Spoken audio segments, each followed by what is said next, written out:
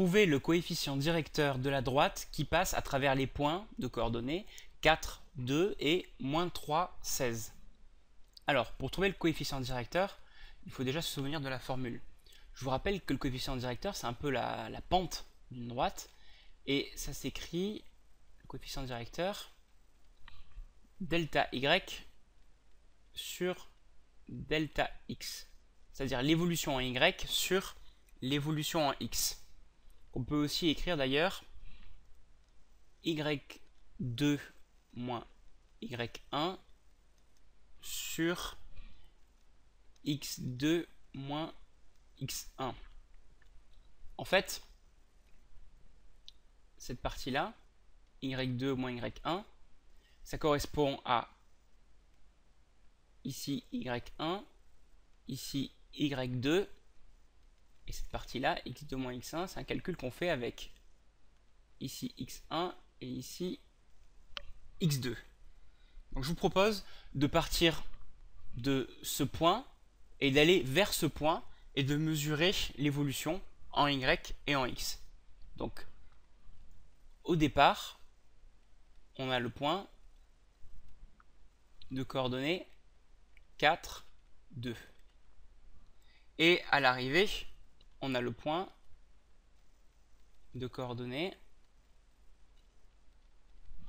on a dit moins 3, 16.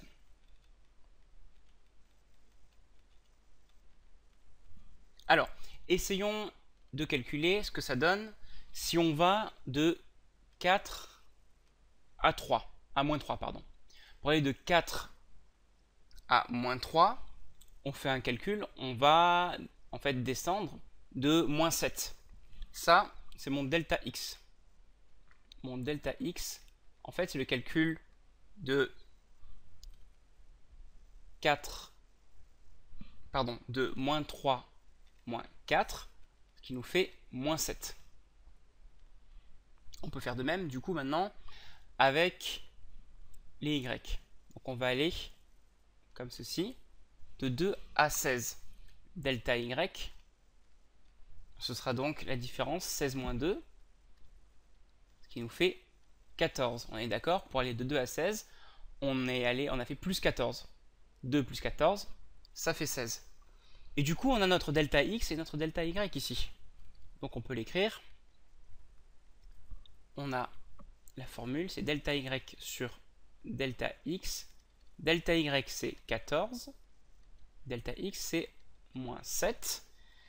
Et 14 sur moins 7, ça fait moins 2. Voilà, donc le résultat, le coefficient directeur, c'est moins 2. On, aurait pu faire d'ailleurs l'inverse. Hein. On aurait très bien pu, je vous le rappelle, partir de faire l'inverse, c'est-à-dire le départ aurait pu être le point de coordonnées moins 3, 16, et l'arrivée, le point de coordonnées 4, 2. Et si on calcule, on obtient en fait exactement la même chose. Pour aller de là à là, on a un delta x qui vaut 7. Et de là à là, un delta y qui vaut moins 14. Et du coup, si vous calculez, vous allez retomber exactement sur vos pattes. Delta y sur delta x. Delta y ici, c'est moins 14. Donc, moins 14. Et delta x, c'est 7. Vous voyez, en fait, c'est la même chose, à part que le signe moins n'est pas du même côté de la fraction, mais au final, ça donne exactement le même nombre. C'est toujours moins 2. Voilà. Une dernière chose que j'aimerais vous montrer, c'est ben, tracer tout simplement euh, la droite qui passe par ces deux points, pour qu'on puisse repérer justement ce coefficient directeur, qui, je vous rappelle, est un autre nom en fait pour signifier la pente. Et en fait, ce moins 2 représente la pente. Une pente, vous allez voir, qui est descendante. Alors on y va. On va faire juste un petit graphe rapide. Comme ça. Et comme ça. Voilà. Ici les Y. ici les x. Donc, en x, on a le point de coordonnées 4, 2. Donc on va aller chercher celui-là. x1, 2, 3, 4. Et là, 1, 2. Ça c'est mon point de coordonnées 4, 2. Et on va rajouter maintenant le point de coordonnées moins 3, 16. Donc moins 3 en x, c'est ici. Et 16 en y, alors là il va falloir compter 1, 2, 3, 4, 5, 6, 7, 8, 9, 10, 11, 12, 13, 14, 15, 16. Voilà. Ah, il est assez haut celui-là. Voilà, ça fait mes deux points. Et là, du coup, je peux tracer la droite qui correspond à ces deux points, qui passe par ces deux points. Alors, je vais faire de mon mieux pour la tracer, parce qu'elle n'est pas évidente à tracer. Je peux vous le dire. Hop. Ah, bah écoutez, c'est pas mal, du premier coup.